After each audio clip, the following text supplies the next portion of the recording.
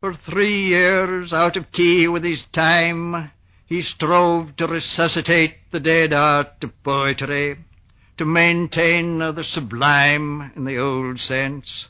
Wrong from the start. No, hardly, but seeing he had been born in a half-savage country, out of date, bent resolutely on wringing lilies from the acorn, Capaneus, trout for factitious bait, id men gartoi panthos and caught in the unstopped ear, giving the rocks small leeway, and the chopped seas held him therefore that year. His true Penelope was Flaubert. He fished by obstinate isles, observed the elegance of Circe's hair rather than the mottos on sundials. Unaffected uh, by the march of events, he passed from men's memory in l'an de sonneage. The case presents no adjunct to the muse's diadem.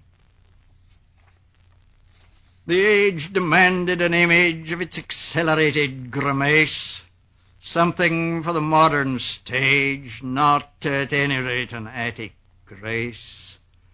Not, not certainly the obscure reveries of the inward gaze, better mendacities than the classics and paraphrase.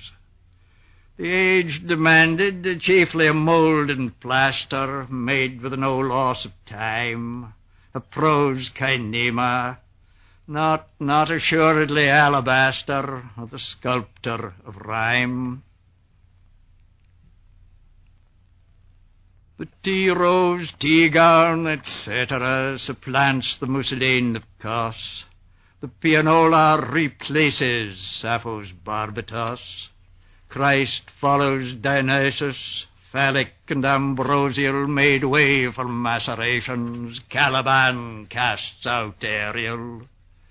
All things are flowing, sage Heraclitus says, but a tawdry cheapness shall outlast our days. Even the Christian beauty defects after Samothrace. We see to kalon decreed in the marketplace.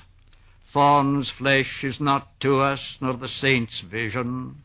We have the press for wafer, franchise for circumcision.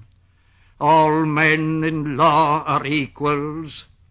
Free if Pisistratus we choose a an eunuch to rule over us. O bright Apollo, Tinandra, Tinaroa, Tinartheon, what god, man, or hero shall I place a tin wreath upon? These fought in any case, and some believing, pro domo in any case, some quick to arm, some for adventure, some from fear of weakness, some from fear of censure, some for love of slaughter in imagination, learning later. Some in fear, learning love of slaughter. Died some pro patria, non dulce, non et decor. Walked eye deep in hell, believing in old men's lies, then unbelieving.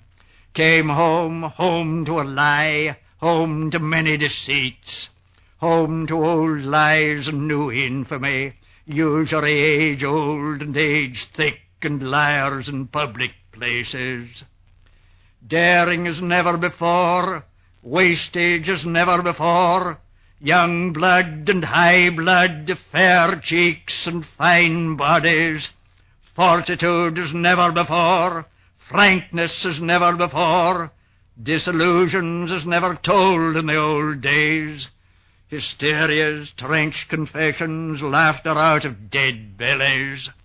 There died a myriad, and were the best among them for an old bitch gone in the teeth, for a botched civilization, charm smiling at the good mouth, quick eyes gone under earth's lid, for two gross of broken statues, for a few thousand battered books,